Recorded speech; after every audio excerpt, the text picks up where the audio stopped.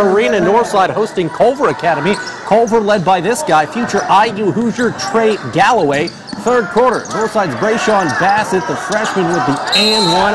But the Legends down big, and Galloway and company not letting up ahead of the pack. It's Galloway's got that wrist injury. He gets the and one. Later, Fort Wayne native and Iowa Hawkeyes football signee Deontae Craig with the bucket.